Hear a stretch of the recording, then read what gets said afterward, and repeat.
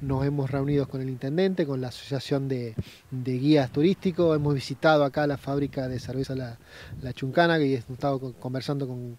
empresarios gastronómicos del ámbito del food track que, que, trabajan muy lindo acá. Y fundamentalmente lo que estamos haciendo es este, llevando el mensaje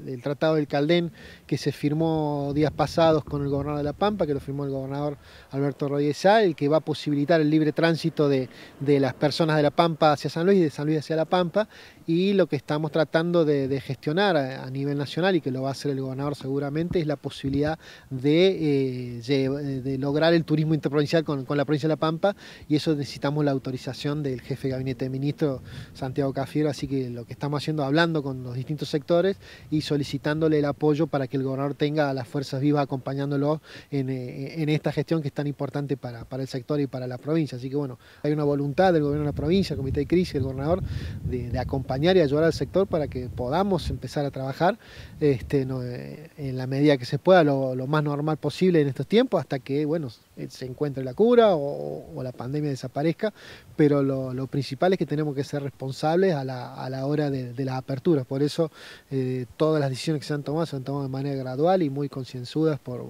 y concientizando a la gente de que bueno, este, no podemos no queremos retroceder, no queremos que aparezca un caso y que tengamos que retroceder en, el grado de apertura. Así que lo que, lo que queremos hacer es también transmitir ese mensaje de que de esta salimos todos juntos y de manera responsable. el gobierno de la provincia va a acompañar, va a poner estructura, va a poner el esfuerzo, pero necesitamos también de que todo el sector se comprometa con el estatus sanitario para que todos podamos este, avanzar firmemente a, una salida ordenada. En la reunión que mantuvo con el intendente de Merlo, Juan Álvarez Pinto, ¿se firmó un convenio? Y sí, se ha firmado no solo por, el intendente, sino también el secretario de Turismo, eh, el apoyo a, esta política del gobernador de poder llevar adelante el turismo interprovincial con La Pampa. Es un apoyo a las políticas sanitarias y a garantizar también el estatus sanitario. Así que le agradecemos al intendente la, comprensión, el acompañamiento y el trabajo en conjunto que vamos a llevar adelante. Estuvimos reunidos con, la Asociación de Guías Turísticos, ellos también necesitan un protocolo para poder funcionar. Este, por ahí son un eslabón de la cadena del turismo que por ahí un poco olvidada,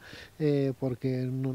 están los hoteleros, están los cabañeros, eh, están los restaurantes, pero el guía turístico es fundamental. Y ellos también necesitan un protocolo. Este, así que nos hemos comprometido a que apenas ellos puedan presentar una propuesta, lo, vamos a estar pensando para que todas las actividades del sector puedan habilitarse en el marco de la pandemia y de garantizar, como, ha dicho el gobernador, este estatus, este sanitario que nos va a posibilitar eh, grados de aperturas mayores si seguimos cumpliendo como sociedad.